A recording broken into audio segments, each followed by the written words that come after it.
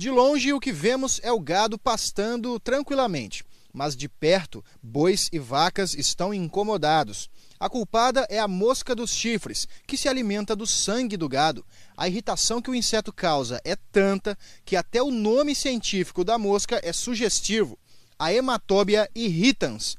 Cada mosca pica o animal de 25 a 40 vezes por dia. Ela é de característica europeia, né? E ela chegou no Brasil, né, na parte norte do Brasil, na década de 70. E aqui em Minas Gerais ela chegou na década de 90. E em 91 ela espalhou pelo Brasil todo afora. E se a vaca ou o boi tiverem a pelagem escura, aí é que não tem paz mesmo. Quanto mais escuro for o animal, mais atraente ele é para as moscas. Primeira coisa, ela vive sugando sangue. Ela é hematófaga, né? E a característica principal dela é que ela expolia o animal várias vezes sugando o sangue. A reprodução da mosca dos chifres é muito rápida, o que dificulta o controle.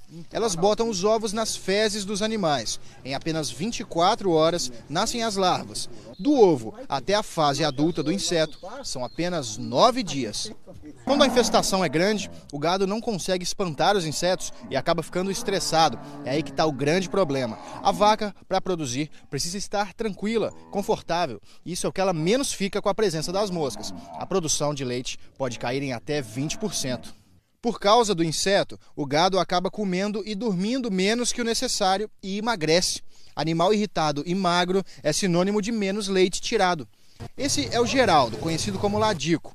Trabalha nessa propriedade há 18 anos, mas como vaqueiro já são quase 40. Experiência não falta na hora de combater a mosca dos chifres.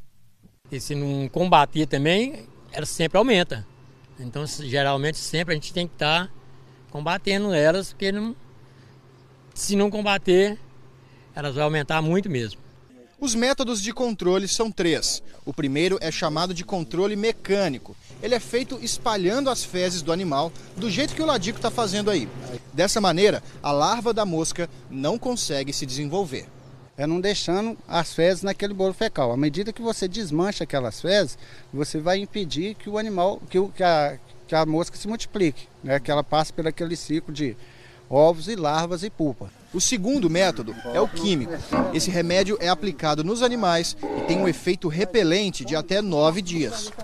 E o outro método é o biológico, mas esse não é usado aqui na propriedade. Ele funciona com a criação de besouros, que fazem buracos nas fezes do gado.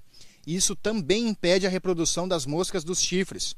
Apesar de funcionarem bem, são métodos de controle erradicar completamente o inseto é praticamente impossível. Se for olhar aí, desde que ele está aí no Brasil, ele chegou aí na década de 90 e até hoje a gente não conseguiu erradicar ele, né? A gente está com bastante tempo e o que a gente vê com os erros que a gente está tendo no controle, a tendência é de cada vez mais aumentar. Isso aí a gente precisa de uma estratégia melhor para combater. E na realidade teria os produtores reunirem e fazer uma estratégia de maneira que diminua a infestação.